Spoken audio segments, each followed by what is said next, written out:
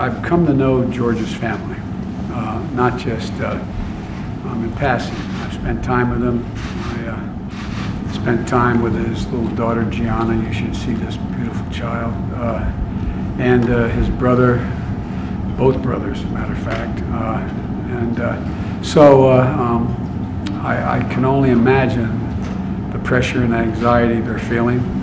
And so I waited till the jury was sequestered, and, uh, and I called.